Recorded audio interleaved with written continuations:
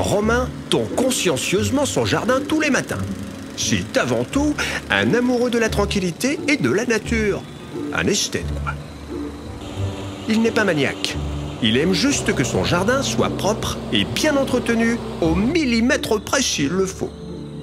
Mais débroussailler, ce n'est pas un simple geste anodin. C'est aussi sauvegarder la biodiversité et protéger la nature. Car en retour, elle nous protège tous d'un drame épouvantable. À cause du réchauffement climatique, les incendies deviennent fréquents et plus intenses. 70% des feux sont d'origine accidentelle et 8 feux sur 10 partent à moins de 50 mètres des habitations. La moitié de ces feux pourraient être évités si chacun était aussi responsable que Romain. Un incendie, c'est l'affaire de tous. Faisons obstacle ensemble. Les sapeurs-pompiers effectuent plus de 4 700 000 interventions par an pour vous protéger, vous secourir, vous sauver.